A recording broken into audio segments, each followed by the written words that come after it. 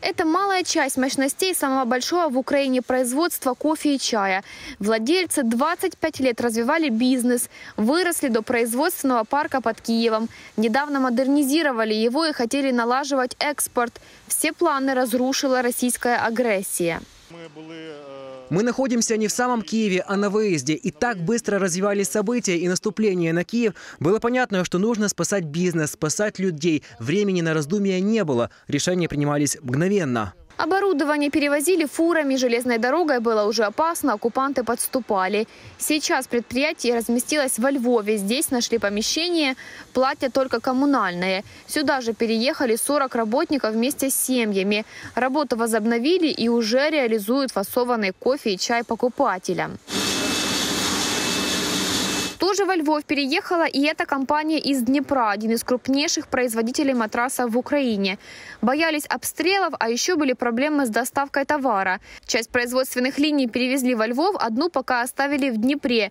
Отшивают вдвое меньше, чем в мирное время, потому что проблема с работниками. На переезд согласились всего полсотни людей, ищут еще 200. Хотя продажи во время войны упали, работы много. В первые дни войны наше предприятие было единственным производителем матрасов, которое продолжало работать. Запросов было очень много, 80% это были волонтерские запросы. Гуманитарная помощь, работы было много. В Минэкономике напоминают, программа релокации бизнесов продолжает работать. Подать заявку могут все желающие компании и не только производство.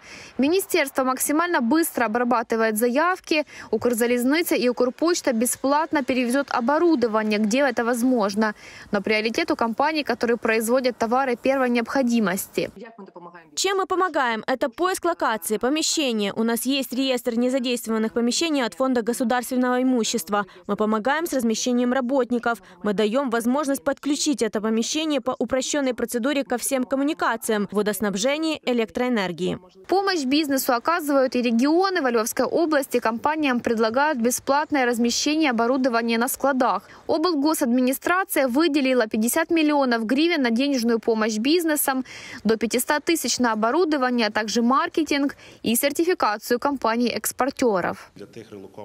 Для предприятий, которые переезжают сюда, мы выделяем финансовую помощь 100 тысяч гривен. Если такое предприятие создает 20 и более рабочих мест, эта сумма дублируется. Для агропредприятия, которое занимается переработкой легкой промышленности, машиностроения, мы выделяем разовую помощь до 500 тысяч гривен на закупку дополнительного оборудования.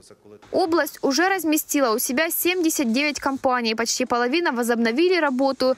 Еще 350 готовятся к переезду, в том числе и два крупных машиностроительных завода.